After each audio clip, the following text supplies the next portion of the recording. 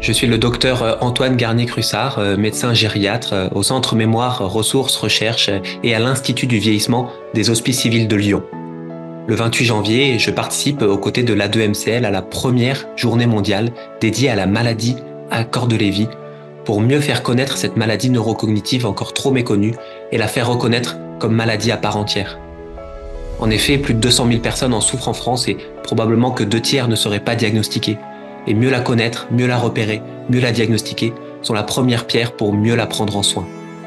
Le 28 janvier, j'encourage tous les professionnels soignants à agir pour la maladie à corps de Lévy aux côtés de la 2MCL.